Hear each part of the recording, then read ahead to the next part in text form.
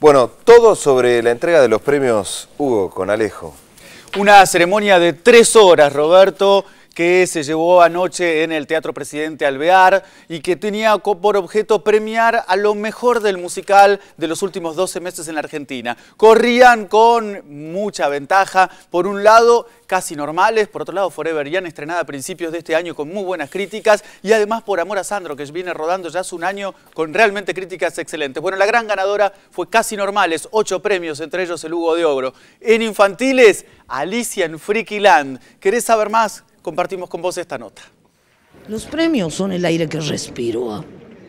Fíjate, los premios y el público argentino, que realmente es el mejor público que yo he tenido. Lo estaba esperando desde que soy muy chico. Toda mi vida quise actuar y lo logré desde muy chico. Es un placer poder estar acá, recibir el reconocimiento de los artistas, de los investigadores del teatro, de todos los medios que están eh, los que votaron, los que no. Es emocionante, se lo dedico a todos ellos y a ese, a ese niño que deseaba ganarlo.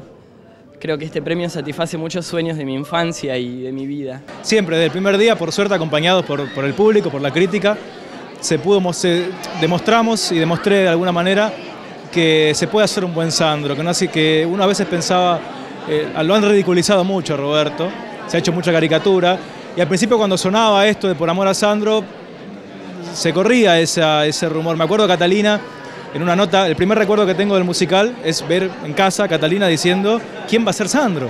Era como la pregunta, ¿no? Y bueno, me tocó a mí, eh, pude hacerlo, estuve maravillosamente dirigido por Ariel del Mastro, por Rubén Viani, eh, y lo hice con el corazón. Y acá está, creo que este es el premio, ¿no? Para mí fue una bendición poder, para mí es una bendición trabajar Así que yo estoy feliz, agradezco todas las noches hacer teatro, actuar.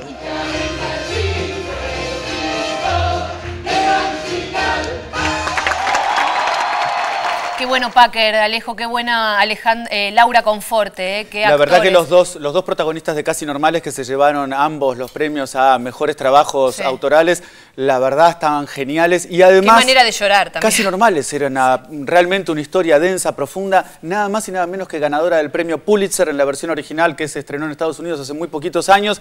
La verdad, una historia muy fuerte sobre una familia disfuncional como tantas otras, con una madre bipolar y los demás haciendo lo mejor que pueden. Así que realmente merecido premio para Casi Normales y muy, pero muy buena terna para elegir entre Por Siempre Sandro y al mismo tiempo Por Forever Young, tres muy buenos espectáculos. Gracias.